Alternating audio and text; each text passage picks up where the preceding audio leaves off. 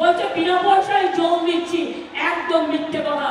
জল আমরা করে দিচ্ছি, আমরাই করে দেবো। মোদি গ্যারেন্টি ফোর টোয়েন্টি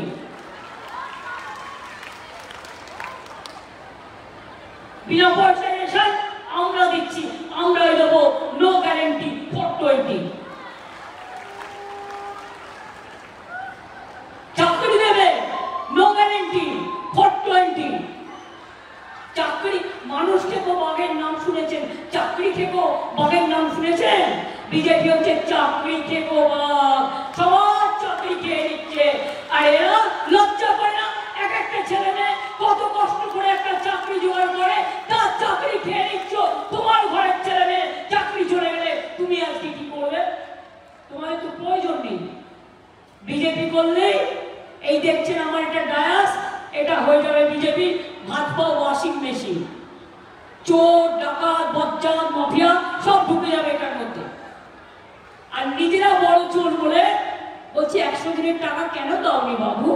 বলছে, তৃণমূল চুরি করেছে। পরে তো তুমি বাঁকা বাড়ি কেন করে দাওনি বাবু? বলছে, তৃণমূল চুরি করেছে। আমি বললাম, একটা প্রমাণ দেখাও বাবু। কোনো প্রমাণ নেই।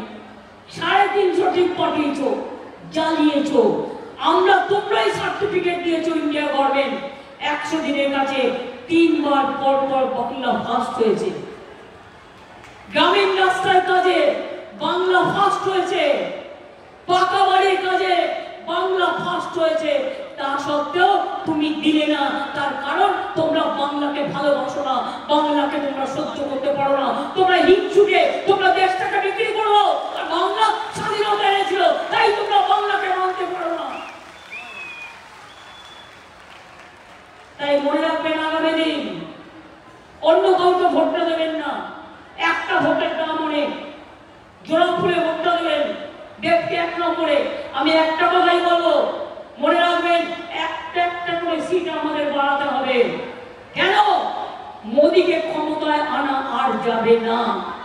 মোদি বাবু যদি আসেন, এনআরসি করে দেবেন। কে করে দেবেন?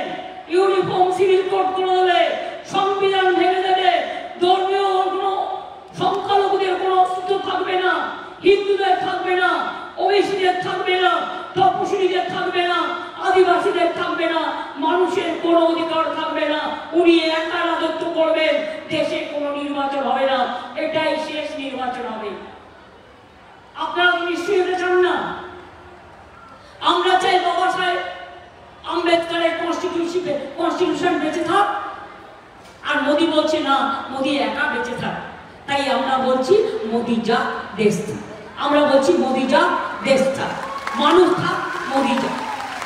শান্তি থাক, মোদি যা। বিনা পয়সা রেশন থাক, মোদি যা। লক্ষ্মী ভান্ডার থাক, মোদি যা।